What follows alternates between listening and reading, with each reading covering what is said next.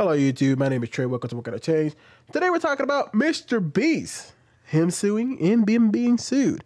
So let's talk about it. I'm not gonna read the whole thing. You can read it for yourself. You can go here to Forbes. I've read it. Obviously, I read the whole thing, but I'm just gonna read the, some of the highlights that I wanted to talk about. So let's start with this.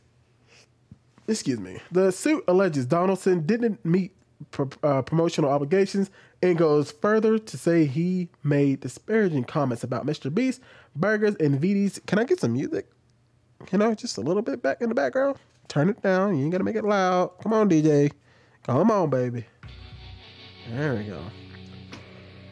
Virtual dining. Uh, uh, sorry, the suit alleges Donaldson did not didn't meet promotional obligations and goes further to say he made disparaging comments about Mr. Beast Burgers and VDC that caused irreparable harm or irreparable harm. I think it's irreparable pointing to a number of now deleted tweets in which Donaldson said he wanted to end the partnership, signed a bad deal, and according to a copy of the suit obtained by Forbes.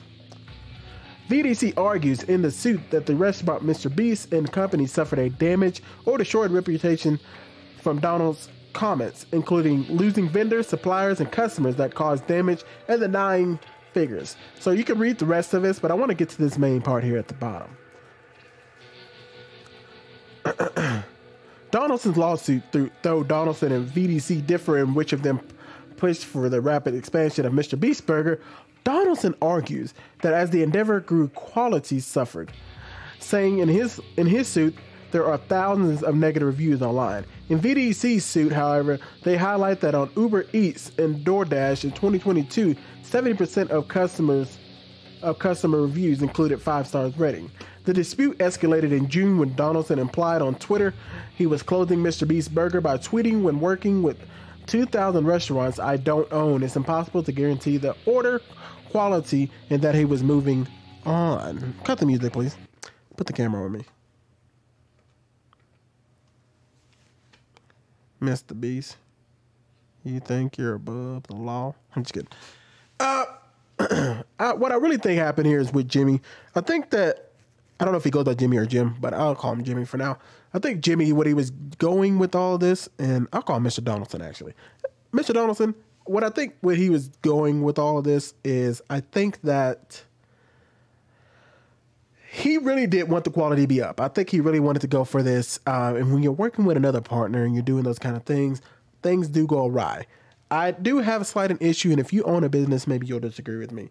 But the fact that they started in 2020 and it's only been three years and it's already getting scrapped, I just don't know a whole lot of restaurants that go from. I know it's one of the fastest growing chains, getting up to 17,000 restaurants, or virtual locations, that is.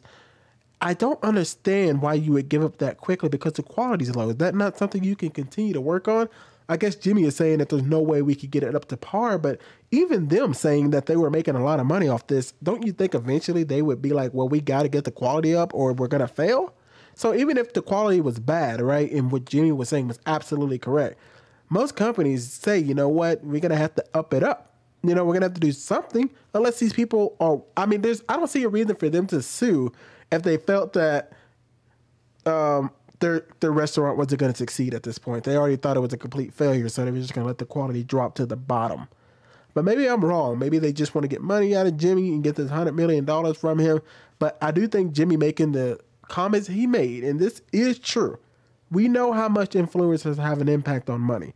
We know how much Jake Paul, Logan Paul, Pokimanes of the world, Pootie, PewDiePie's, PewDiePie's of the world, Marks, the uh, game theories, all those kind of guys who are really top dogs. If they do brand deals, if they do anything, if they say they like this, it's going to have a huge impact on how much money you're going to make. If a, if one of these YouTubers or influencers come out and say, "Hey, you know what? I kind of hate dill pickles," right? And I think dill pickles is the name of the brand. So if they came out and said, "I hate dill pickles," you don't think that's going to take a hard a hard hit, especially if they kept coming out and making tweets about it, like I don't know. Dill pickles has always made me sick. It makes all my friends sick. I'm saying, guys, just look into it. You don't think Dill pickles is gonna come out and say, "Hey, hey, hey, wait a minute now. You can't come out saying that stuff about us. You're gonna mess up the money." And I think that's the same thing that these people, uh, VDC was saying. It's like, hey, Jimmy, you can't just go saying that stuff and then expect us to make improvements. If you're if you come out and say that our quality is trash, how are we supposed to even come back from that? That is irreparable damage. You saying it's not good with your name on it How we now how we supposed to up the quality? We're gonna lose customers, vendors, any brand deals, any sponsorships. That's all gone because you said it's trash. We can't go anywhere from that. If you could have just been more uplifting, that could help us. So I think Jimmy is gonna lose some money in this. I am not sure.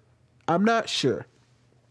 And to be honest with you guys, Jimmy, I don't know Jimmy from a can of paint. Everybody knows who he is. Like I know his name, but I've never watched a video of his. Like, be like, man, I'm just astounded. I love his work ethic, and I think he he does a great job. And I've heard him in interviews and stuff like that. But as far as like him as the person and the personality and all that kind of stuff, I'm sure me you don't know that much about him. So I'm just looking into this story, not because it's really Mr. Beast, but because I'm just interested in the story itself.